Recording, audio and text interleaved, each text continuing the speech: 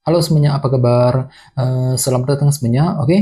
uh, seperti biasa pada video kali ini, uh, aku akan uh, memberikan sebuah reading bulanan uh, untuk zodiak Cancer ya, uh, Sun, Moon, dan Rising untuk periode bulan Juli 2024. Oke, okay, uh, reading kali ini sangat umum, uh, jadi bisa berlaku ke dalam uh, semua segi kehidupan kalian, seperti pekerjaan, keuangan, asmara, dan sebagainya. Jadi tinggal uh, disesuaikan saja dengan uh, kondisimu masing-masing, ya. Uh, Oke, okay, kalau gitu langsung kita mulai untuk uh, reading kali, uh, kali ini ya. Oke, okay, yang pertama ada kartu King of Pentacles, uh, terus The Hierophant, uh, empat tongkat, uh, King of Cups, The Chariot, uh, Queen of Cups, Ace of Wands, uh, The Sun, Page of Wands, dan terakhir kartunya Knight of Pentacles ya. Oke, terus tema untuk bintang Cancer untuk bulan Juli 2024 adalah kartu tujuh tongkat ya Seven of Wands. Oke, okay, jadi ceritanya Cancer sebagian besar dari kalian untuk bulan Juli nanti uh, sepertinya akan lagi lagi lebih fokus uh, gitu ya untuk berjuang terus ya.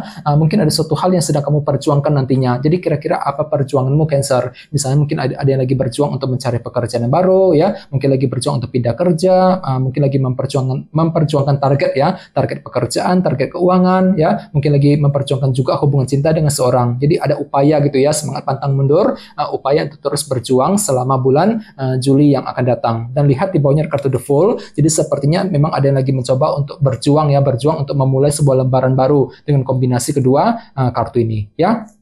Oke, okay, uh, di bawahnya lihat ada kartu lima pedang dan tiga cawan. Jadi sepertinya akhir-akhir ini beberapa dari kalian mungkin ada yang lagi uh, fokus untuk menjaga ataupun memperbaiki ya hubungan dengan orang-orang terdekat. Mungkin dengan teman, dengan keluarga, mungkin dengan orang yang kamu sukai, mungkin dengan orang-orang di tempat kerja misalnya ya. Akan tetapi di sisi lain, kenapa memang ada sebuah rintangan gitu ya. Mungkin ada sedikit kesalahpahaman yang baru saja kamu alami akhir-akhir ini Cancer ya uh, dengan orang tersebut. Jadi coba untuk lebih bersabar ya. Bagian lain bisa diartikan juga, mungkin kan tuh lagi mencoba nih untuk mencari mencari pertolongan, bantuan dari orang lain untuk mempermudah jalanmu. Yang dikarenakan apa? Dikarenakan memang ada sebuah rintangan yang baru saja kamu alami uh, akhir-akhir ini dan semuanya itu telah kamu diskusikan dengan orang-orang terdekat tiga cawan. Ya, ini sudah kamu alami uh, akhir-akhir ini. Ya, oke. jadi intinya sekali lagi dengan kartu tujuh tongkat uh, sebagai tema utama bisa di, uh, dikatakan ya untuk bulan Juli memang ada perjuangan besar yang masih akan kamu lanjutkan Cancer ya. Jadi kira-kira apa perjuangan perjuanganmu kali ini ya. Oke sekarang kita lanjut di tengah-tengah lihat ada kartu King of Pentacles. Jadi ada yang lagi berhubungan dengan bintang Taurus, Virgo dan Capricorn ya. Oke jadi ceritanya di awal bulan ya minggu pertama beberapa dari kalian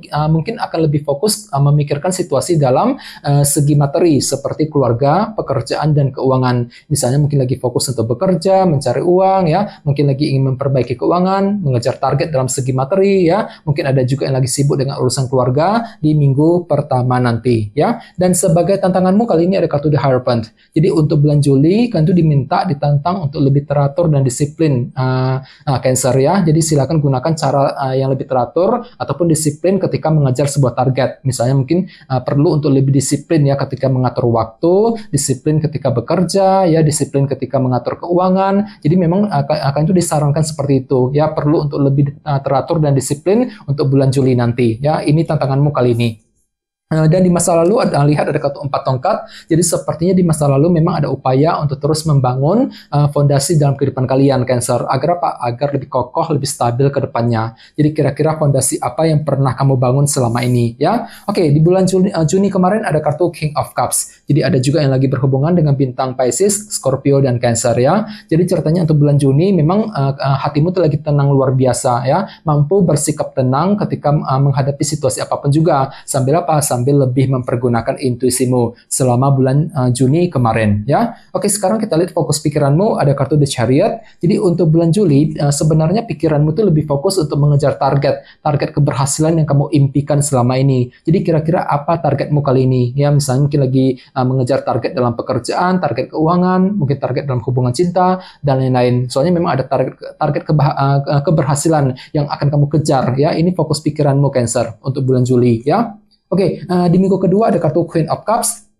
Uh, jadi sepertinya di minggu kedua kau lagi mencoba untuk lebih mempergunakan intuisimu, menggunakan isi hatimu ya, ketika akan mengambil tindakan dan keputusan keputusan tertentu dalam kehidupan kalian. Bagian lain jangan lupa kartu ini juga melambangkan orang yang agak sensitif perasaannya ya. Jadi hati-hati Cancer, sepertinya di minggu kedua, uh, minggu kedua orang lain akan menilaimu seperti itu, agak sensitif gitu ya. Jadi perlu untuk hati-hati ketika berinteraksi dengan siapa pun untuk menghindari kesalahpahaman ya. Oke, di minggu ketiga ada kartu Ace of Wands. Jadi sepertinya di minggu ketiga memang ada motivasi baru, semangat baru dalam dirimu Cancer, ya semangat untuk bekerja, mencari uang, mungkin lagi semangat untuk mendekati seorang, ya semangat untuk mengejar impianmu di minggu ketiga, ya. Oke, sekarang kita lanjut. Di sini ada kartu The, uh, The ya. Jadi ada yang lagi berhubungan dengan bintang Leo, ya. Oke, kartu The melambangkan unsur kejelasan. Jadi untuk bulan Juli, orang lain akan menilaimu sedang mencari sebuah kejelasan dalam kehidupan kalian. Ya, tenang saja, ini hanyalah sudut pandang orang lain mengenai diri, dirimu belum tentu benar demikian ya. Oke, dan sebagai harapan utamamu ada kartu Page of Wands. Jadi artinya kan tuh lagi punya harapan besar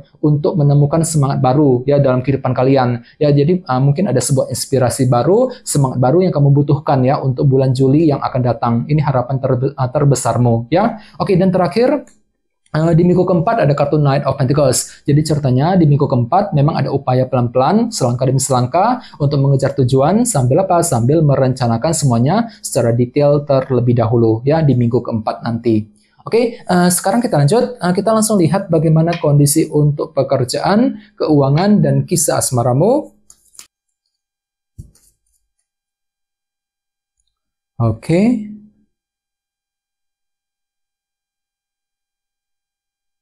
Oke, Cancer, sekarang kita mulai. Yang pertama ada kartu dua tongkat, uh, terus uh, Wheel of Fortune, uh, terus Justice, dan tujuh koin. Ya, oke, langsung kita bahas. Uh, kita mulai dari segi karir dan keuangan terlebih dahulu. Kartunya dua tongkat dan Wheel of Fortune. Ya, jadi bisa disimpulkan untuk bulan Juli nanti memang ada sebuah uh, rencana penting yang akan kamu susun kembali, Cancer. Ya, jadi kira-kira apa rencanamu kali ini? Misalnya mungkin lagi menyusun, menyusun ya rencana untuk pindah kerja, rencana keuangan keuangan ya, mungkin rencana mengenai karir, bisnis yang sedang kamu lakukan ya, uh, apalagi di sebelahnya kartu Wheel of Fortune yang melambangkan sebuah perubahan ya, roda perubahan. Jadi memang ada upaya gitu untuk memulai sebuah perubahan baru uh, dalam kehidupan kalian. Uh, mungkin mungkin dengan tujuan untuk memperbaiki keadaanmu ke arah yang lebih baik dan semuanya itu masih kamu rencanakan nantinya dengan kombinasi kedua uh, kartu ini. Mungkin lagi menyusun, menyusun rencana baru untuk memulai perubahan dalam segi pekerjaan dan keuangan ya nantinya. Dan ingat tema utamamu kartunya tujuh tongkat. Jadi artinya memang ada upaya untuk berjuang gitu ya. Ah, mungkin lagi memperjuangkan target dalam pekerjaan, target keuangan. Mungkin ada lagi berjuang untuk memulai perubahan besar ya ah, selama bulan Juli yang akan datang.